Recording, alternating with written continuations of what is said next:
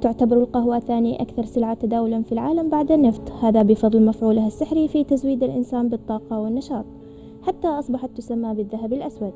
ولقد أصبح تناول القهوة يوميا وخصوصا في الصباح من الطقوس العالمية لدى غالب الناس. وازداد محبوها لما تحتويه من مذاق وطعم مميز. إحنا هنا بنستورد آه، نوع بن من إيطاليا. آه، هو فعلا ممتاز جدا.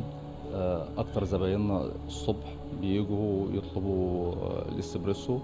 آه، كتير منهم بيطلب الإسبريسو. في كتير آه، فرنش كوفي والفرنش كوفي هو لذيذ جدا. آه، بينضاف له آه، هازل نط هازل نط هو بندق بنستورده برضو آه، هو يعتبر آه، أفضل مشروبين في الصبح.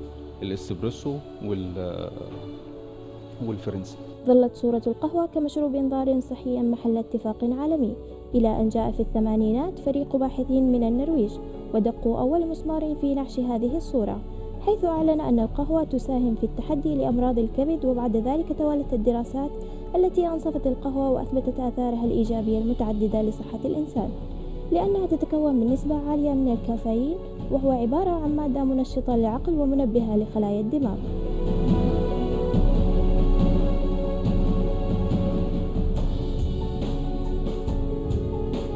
والأكواب المفضلة لي طبعا القهوة العربية تفوق على كل شيء والأنواع الثانية يعني أحب الكوارتراتو فهي تكون الإسبريسو وحليب نفس الكمية لزيادة التركيز في الصباح. وفي اليابان توصل مجموعة من الباحثين إلى أن مادة الكافيين مادة تحارب أمراضا عدة. حيث تزيد من قدرات الذاكرة وتجنبنا من نوبات الصداع وتسهل عملية التنفس لمرضى الربو وتقلل من مخاطر تكون حصوات الكلى وتحسن من أداء الكلى في تنقية السموم وتحارب الزيادة في الوزن. إذا العلم جعلنا ننصف مادة الكافيين ونكتشف بأنها منجم من الفوائد ولكن هذه المادة كغيرها من المواد حيث تسبب آثارا سلبية لدى أصحاب ضغط الدم المرتفع. فعند تناول كوبين أو ثلاثة أكواب من القهوة يرتفع ضغط الدم من ساعتين إلى ثلاث ساعات. وإن شرب أكثر من أربع أكواب في اليوم تعرض الشخص إلى الوفاة المبكر.